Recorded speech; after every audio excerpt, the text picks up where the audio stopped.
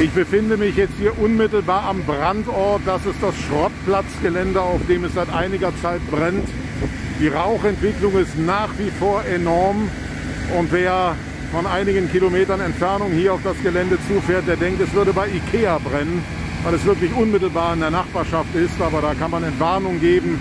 Der Schrottplatz befindet sich eben daneben, aber nicht auf dem Gelände von Ikea brennt es, sondern auf dem Schrottplatzgelände. Und die enorme Rauchentwicklung kommt vermutlich zustande, weil dort auch viele alte Reifen gelagert sind. Es sind über 80 Einsatzkräfte inzwischen von der Feuerwehr hier vor Ort, unter anderem natürlich von der Feuerwehr in Karst, aber auch von der Feuerwehr in Neuss und auch von den entsprechenden Nachbarstädten. Und äh, ich bin sicher, so wie es hier ausschaut, wird es auch noch einige Zeit dauern, bis das Feuer hier auf dem Schrottplatz gelöscht ist. Der Schrottplatz befindet sich unmittelbar neben der A57.